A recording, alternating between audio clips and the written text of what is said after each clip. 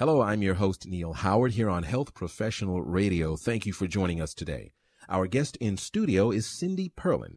Now, Cindy's a licensed clinical social worker, a certified biofeedback practitioner, a chronic pain survivor, and past president of the Northeast Regional Biofeedback Society. In addition, she's also the author of the best-selling book, The Truth About Chronic Pain Treatments, the best and worst strategies for becoming pain free. And she's returning with us today to talk about some of the recent legislation that has taken place uh, during this uh, this election here in the United States, and also marijuana legislation in the United Kingdom and Australia as well, and how legislation is affecting patient access across the board. Welcome to Health Professional Radio, Cindy. Thank you. Thank you.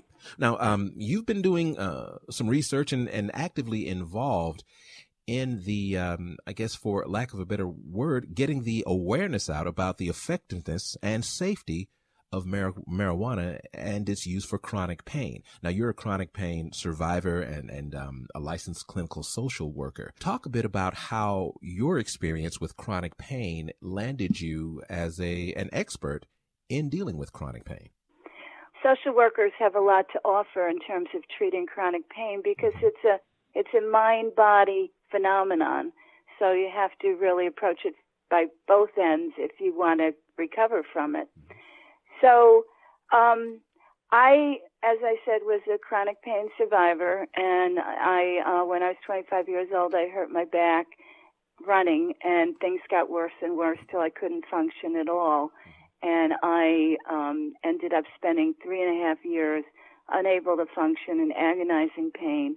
The doctors were useless. The drugs they gave me didn't help, mm-hmm. and had side effects that were intolerable and potential risks that were unacceptable. Mm-hmm. And I was in despair. I didn't know what to do, and I stumbled upon a book talking about the mind body connection and it mentioned biofeedback, and I used biofeedback to help me get well. Uh, it had an amazing, very rapid effect in terms of turning my pain around. Mm-hmm. And um, and then I just became interested in optimizing my health and feeling the best that I could. And uh, for the last 35 years or so, I've been researching, experimenting personally, working with pain patients, and then, you know, for the last few years researching my book about how people can get better from chronic pain. Do you know of any instances where biofeedback changes dramatically with marijuana use or any other type of pain treatment? Um, when we're doing brainwave biofeedback and looking at the brain, you will see a dampening effect on brain function with marijuana. Mm-hmm uh, where the brain slows down and um, you know if you use a lot of it um, it can slow down cognitive processing. But um, when you use medical marijuana for the treatment of chronic pain you're using very little. Um, very little like one puff on a joint can eliminate pain uh, for hours.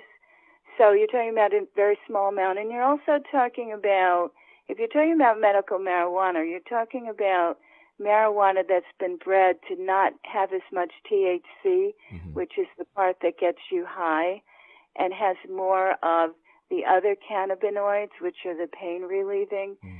uh, parts of marijuana. So, and some people use um, straight CBD, which is one of the compounds in marijuana that has been shown to reduce pain. And, um, you know, you can orally administer it, you can uh, use it topically, you can vaporize it rather than burn it, which just releases the vapors of the beneficial components without having to have the toxins that come with smoking. So there's many ways to safely use uh, marijuana for pain that don't negatively affect your functioning and don't have any risks. So, if I'm understanding correctly, folks that are living in locales where they can legally obtain medical marijuana, if they can afford it, are getting marijuana that will get you high a lot less than, I guess, the illegal marijuana that's being sold in many more locales. Is is that what what I'm understanding? Yes, because um, the illegal marijuana that you can get on the street, that's been bred for its psychoactive properties. You know, when people traditionally have used marijuana recreationally, what they want is the high. Mm-hmm. And that's not the part that is really helpful for pain, except that to a, to a small degree, pain comes with anxiety and depression, and the psychoactive properties of marijuana can help with anxiety and depression. So if you go to a legal marijuana dispensary, they have what's called different strains mm-hmm. that have different amounts, balances of the psychoactive THC versus the CBD, which is the more pain relieving mm-hmm. compound. And based on your condition and your needs, uh, you can select the strain that works best for you. Now, um, we were talking initially about some of the recent legislation, not only here in the United States concerning medical marijuana, but uh, in the United Kingdom and Australia as well.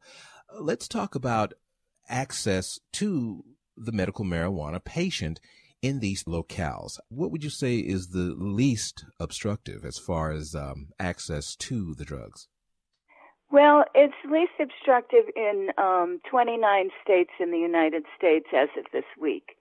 Um, 29 states have approved medical marijuana. There's varying degrees of access in terms of how many roadblocks are put in place to people getting it. Uh, New York State is one of the worst. Um, you know, you need to find a doctor who'll prescribe it, who has to be specially certified. You have to go in person to a dispensary you can't figure out who the doctors are. Mm-hmm. Other states let you grow your own to a you know up to a certain amount. You can have so many marijuana plants that you grow yourself. So there's very wide variation. In the United Kingdom, there's virtually no access. Uh, there's a drug that's derived from um, marijuana called Sativex, and um, only people with multiple sclerosis could get it. A lot of people in the United Kingdom were using uh, CBD products, which, as I mentioned earlier, the THC has been taken out, and it's purely the compounds that seem to help with chronic pain. Marijuana is an herb that grows wild all over the planet, except in the coldest climates, and people were using these products um, until very recently in the UK and then the UK, uh, within the last month or so, banned CBD products. They classified them as medicine, which, you know, sounds nice. Okay, the United Kingdom is accepting uh, marijuana components as medicines, but in fact, what that does is now um, anybody, any organization that produces and sells CBD products must go through a drug approval process where they do clinical trials and prove that it's safe and effective for um, the condition that it's going to be used for. And that can cost hundreds of thousands to hundreds of millions of dollars. Wow. And, um, you know, it's ba- basically out of reach of the, av- you know, the average company. So, in effect, access to medical marijuana and its derivatives has um, just ended mm. in the United Kingdom. Well, let's talk about a couple of the of the problems that can be associated with the legalization of medical marijuana. Uh, you're in New York. What about people coming from other states into New York to attempt to get medical marijuana uh, that don't live in New York but still need it outside of New York? How does that work? Well, um, first of all, they'd have to find a doctor that was certified to prescribe it, uh, which is, as I said, difficult because there's no list. And then once they, I think they have to also apply to get certified as a patient. And then once they do that, they have to go to a dispensary in person. I think they just um, expanded it that that um, dispensaries can deliver However, you know, they can only obviously deliver to New York addresses. And then there's the problem, if you could get it, of taking it back to your home state. Because if marijuana is illegal in your home state, um, you can get arrested for possession. And in New York State, uh, small amounts of even recreational marijuana, uh, possession of an ounce or less, is um, is considered a violation. You can get a fine. Wow. But in other states, like Texas, for instance, possession of an ounce of marijuana can get you serious jail time. So, you know, the the real problem with going out of state to get it is um, getting arrested for possession in your home state. Now, do you see um, the other states coming on board with these 29 states that have uh, approved medical marijuana? Well, I think that a lot of people who are advocates for medical marijuana are saying now that this election was the turning point. Uh, some states added uh, recreational marijuana; anybody could buy it, um, and it's not a criminal offense.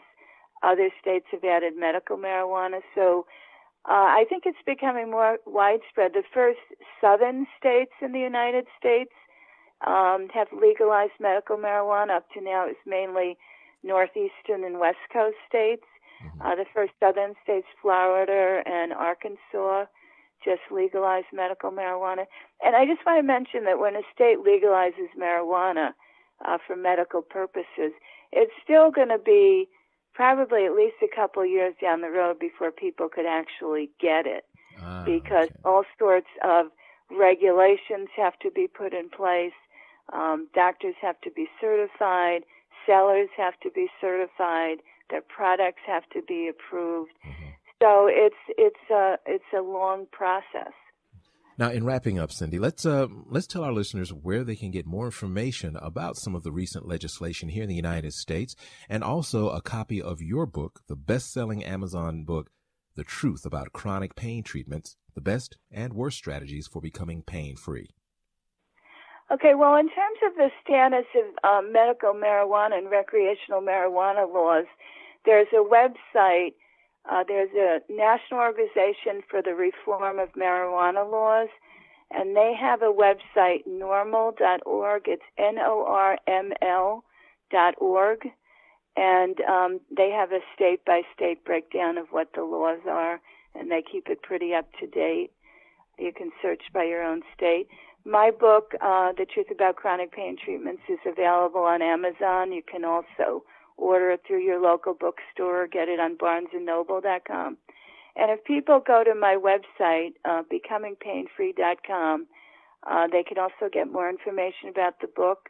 They can also get a free uh, download, the five best self-help tools for becoming pain-free. Because uh, don't despair if you can't get medical marijuana there's lots of other things that can help you with chronic pain that you haven't tried yet. Mm-hmm. And all of them are mentioned in my book. Well, it's been a pleasure talking with you today, Cindy.